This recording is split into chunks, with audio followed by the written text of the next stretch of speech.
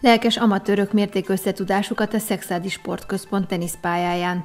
A nyár folyamán már második alkalommal rendezték meg a páros teniszversenyt, amire tizen neveztek be és csaptak össze a teniszháló felett. Reggel 8-kor kezdtük a mérkőzéseket, mind az öt pályán mennek a mérkőzések.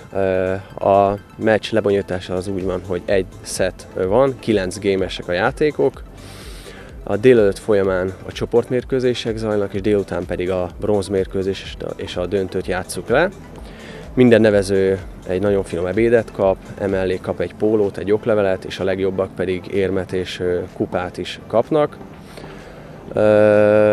Ezek mellett ugye a legfőbb célunk az ugye az, hogy a profi körülményeket megtekintsük, egy versenykörülményt tudjunk kialakítani a játékosoknak, a tenisportágnak a, a népszerűsítése. Emellett ugye nagyon sok játékosunknak, mindenkinek nagyon sok szép emléke van ehhez a pályához, nagyon sok szép emlék köti ehhez a pályához, és ennek egy kicsit a felelvenítése, nosztalgiázása, egy jó csapat építése, ez lenne a legfőbb nekünk. Mi az idejében még mindenképp szeretnénk egy tornát rendezni, hogy várunk mindenkit szeretettel, kortól, nemtől, mm, tudásszintől függetlenül. A hétköznapokon pedig a tenisz szakosztály növendékei népesítik be a pályát, akiknek a nyári szünidő után rendszeres edzésekkel készülnek a szervezők. Így azok a fiatalok, akik kedvet éreznek ahhoz, hogy elsajátítsák ezt a sportot, szeptembertől lehetőségük van rá.